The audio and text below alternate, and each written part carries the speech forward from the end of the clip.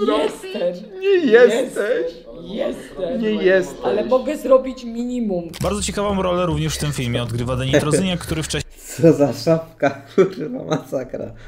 Dziwnie mi się to ogląda. A najdziwniejsze, szczerze, kurwa, co ja widziałem na Twitchu, kiedyś Pajałek, jak jeszcze nie miał bana, on tam, kurwa, tak, to, to były jego początki w ogóle tych live'ów, on tam coś gotował, coś tam, on się tam chyba z babką czy z rodzicami kłócił na live, kurwa, tak się niekomfortowo nie czułem chyba nigdy na Twitchu. Po co coś takiego, kurwa, streamować? To było mega dziwne, mega popierdolone, do dzisiaj to pamiętam. Popie, popierdolone.